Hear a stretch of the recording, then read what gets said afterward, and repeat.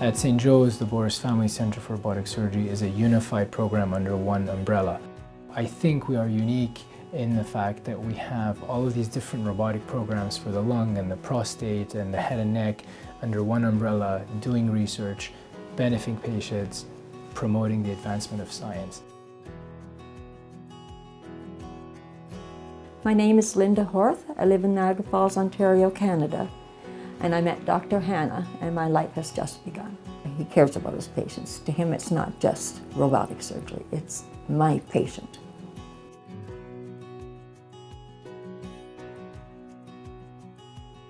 The Firefly is a new technology that um, exists only at St. Joe's and one or two other centres in Canada.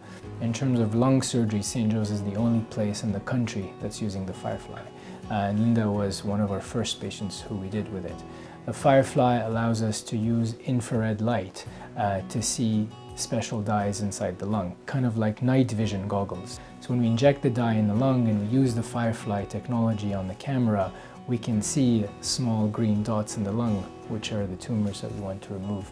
Um, and we can see them with such a high accuracy that we can just cut around them and remove a very small piece of the lung uh, very securely around the tumor, make sure we take everything and leave nothing behind, at the same time preserving the maximum amount of healthy lung tissue that the patient can use to breathe after surgery.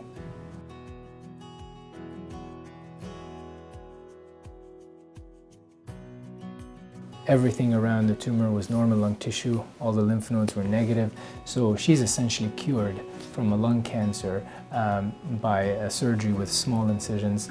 Her x-ray, as you can tell, is normal after the operation. Um, you wouldn't really guess she had an operation recently. The other Lynda went out that door and another Lynda came in. Quality of life is what I have received.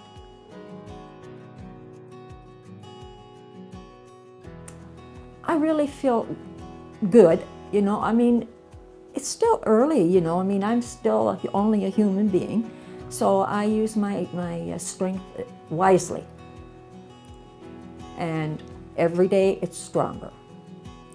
Um, I can only tell you that I've never breathed this good in years. Lynda and all of her other um, co-patients that participate in this program um, have seen excellent results so far.